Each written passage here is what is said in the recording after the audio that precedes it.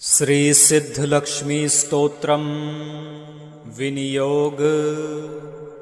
ओमस्य श्रीसिद्धलक्ष्मीस्तोत्रमन्त्रस्य हिरण्यगर्भऋषिः अनुष्टूपछन्दः श्रीमहाकाली महालक्ष्मी महासरस्वत्यो देवताः श्रीम्बीजं ह्रीं शक्तिः क्लीं कीलकं मम सर्वक्लेशपीडा परिहारार्थं सर्वदुःखदारिद्र्यनाशनार्थं सर्वकार्यसिद्ध्यर्थं च श्रीसिद्धलक्ष्मीस्तोत्रपाठे विनियोगः।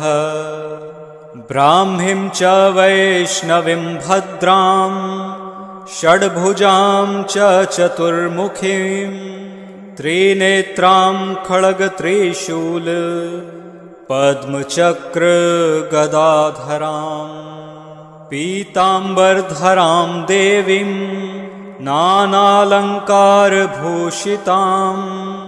तेजः पुञ्जधरीं श्रेष्ठां ध्यायेद् बालकुमारिकाम्। ओङ्कारं लक्ष्मीरूपं तु विष्णुहृदयम् अव्ययम् विष्णुम् आनन्दमव्यक्तम् ह्रीङ्कारं बीजरूपिणीम् क्लीम् अमृतानन्दनीं भद्रां सत्यानन्ददायिनीम् श्रीं दैत्यशमनीं शक्तिं मालिनीं शत्रुमर्दिनीं तेजः प्रकाशिनीं देवीं वरदां शुभकारिणीम् ब्राह्मीं च वैष्णवीं रौद्रीं कालिकारूपशोभिनीम्। अकारे लक्ष्मीरूपं तु ऊकारे विष्णुमव्ययम्। मकारः पुरुषो व्यक्तो देवी प्रणव उच्यते।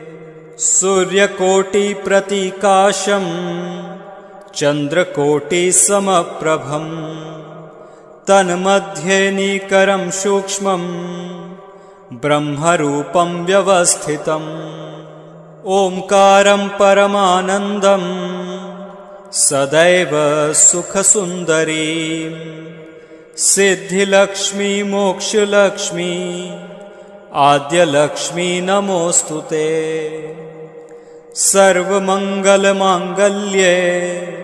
शिवे सर्वार्थसाधिके शरण्ये त्र्यम्बके गौरी नारायणी नमोऽस्तु ते। प्रथमं त्रयम्बका गौरी द्वितीयं वैष्णवी तथा तृतीयं कमला प्रोक्ता चतुर्थं सुन्दरी तथा। पञ्चमं विष्णुशक्तिश्च षष्ठं कात्यायनी तथा वाराहि सप्तमं चैव ह्यष्टमं हरिवल्लभा। नवमी खड्गिनी प्रोक्ता दशमं चैव देविका। एकादशं सिद्धलक्ष्मीर् द्वादशं हंसवाहिनी। एतत् स्तोत्रवरं देव्या ये पठन्ति सदा नराः सर्वापदभ्यो विमुच्यन्ते नात्र कार्याविचारणा। एकमासं द्विमासं च त्रिमासं मासचतुष्टयम् पञ्चमासं च षष्मासं त्रिकालं यः सदा पठेत्। ब्राह्मणक्लेशितो दुःखी दारिद्र्यमयपीडितः। जन्मान्तरसहस्रो तथैर्मुच्यते सर्वकिल्बिषैः। दरिद्रो लभते लक्ष्मीम् अपुत्रः पुत्रवान् भवेत्। धन्यो यशस्वी शत्रुघ्नो वह्नि चौरभयेषु च शाकिनी भूतवेताल सर्पव्याघ्रनिपातते। राजद्वारे सभास्थाने कारागृहनिबन्धने। ईश्वरेण कृतं स्तोत्रम् प्राणिनां हितकारकम्। स्तुवन्तो ब्राह्मणा नित्यम् दारिद्र्यं न च बाधते। सर्वपापहरा लक्ष्मीः सर्वसिद्धिप्रदायिनी इति श्रीब्रह्मपुराणे ईश्वरविष्णुसंवादे श्रीसिद्धलक्ष्मीस्तोत्रम् सम्पूर्णम् श्रीसिद्धलक्ष्मीस्तोत्रम् विनियोग।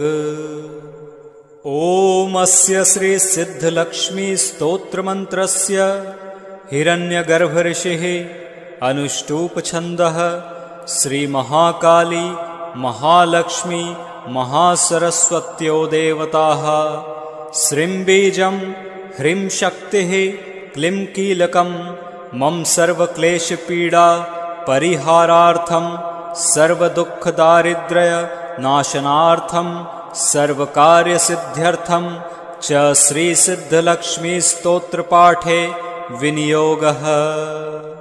ब्राह्मीं च वैष्णवीं भद्रां षड्भुजां च चतुर्मुखीं त्रिनेत्रां खड्गत्रिशूल पद्मचक्रगदाधराम् पीताम्बरधरां देवीं नानालङ्कारभूषितां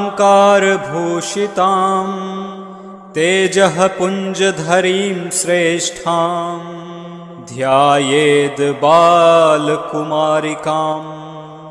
ओङ्कारं लक्ष्मीरूपं तु विष्णुहृदयम् अव्ययम् विष्णुम् आनन्दमव्यक्तम् ह्रीङ्कारं बीजरूपिणीम् क्लीम् अमृतानन्दनीं भद्रां सत्यानन्ददायिनीम् श्रीं दैत्यशमनीं शक्तिं मालिनीं शत्रुमर्दिनीं तेजः प्रकाशिनीं देवीं वरदां शुभकारिणीम् ब्राह्मीं च वैष्णवीं रौद्रीं कालिकारूपशोभिनीम्। अकारे लक्ष्मीरूपं तु ऊकारे विष्णुमव्ययम्। मकारः पुरुषो व्यक्तो देवी प्रणव उच्यते। सूर्यकोटिप्रतिकाशम् चन्द्रकोटिसमप्रभम् तन्मध्ये निकरं सूक्ष्मम् ब्रह्मरूपं व्यवस्थितम्। ओङ्कारं परमानन्दम् सदैव सुखसुन्दरी सिद्धिलक्ष्मी मोक्षलक्ष्मी आद्यलक्ष्मी नमोऽस्तु ते। सर्वमङ्गलमाङ्गल्ये शिवे सर्वार्थसाधिके। शरण्ये त्र्यम्बके गौरी। नारायणी नमोऽस्तु ते। प्रथमं त्र्यम्बका गौरी। द्वितीयं वैष्णवी तथा। तृतीयं कमला प्रोक्ता चतुर्थं सुन्दरी तथा। पञ्चमं विष्णुशक्तिश्च षष्ठं कात्यायनी तथा वाराही सप्तमं चैव ह्यष्टमं हरिवल्लभा। नवमी खड्गिनी प्रोक्ता दशमं चैव देविका। एकादशं सिद्धलक्ष्मीर् द्वादशं हंसवाहिनी। एतत् स्तोत्रवरं देव्या ये पठन्ति सदा नराः। सर्वापदभ्यो विमुच्यन्ते नात्र कार्याविचारणा। एकमासं द्विमासं च त्रिमासं मासचतुष्टयम् पञ्चमासं च षष्मासं त्रिकालं यः सदा पठेत्। ब्राह्मणक्लेशितो दुःखी दारिद्र्यमयपीडितः। जन्मान्तरसहस्रो तथैर्मुच्यते सर्वकिल्बिषैः। दरिद्रो लभते लक्ष्मीम् अपुत्रः पुत्रवान् भवेत्। धन्यो यशस्वी शत्रुघ्नो वह्नि चौरभयेषु च शाकिनी भूतवेताल सर्पव्याघ्रनिपातते। राजद्वारे सभास्थाने कारागृहनिबन्धने। ईश्वरेण कृतं स्तोत्रम् प्राणिनां हितकारकम्। स्तुवन्तो ब्राह्मणा नित्यम् दारिद्र्यं न च बाधते। सर्वपापहरा लक्ष्मीः सर्वसिद्धिप्रदायिनी। इति श्रीब्रह्मपुराणे ईश्वरविष्णुसंवादे श्रीसिद्धलक्ष्मीस्तोत्रम् सम्पूर्णम्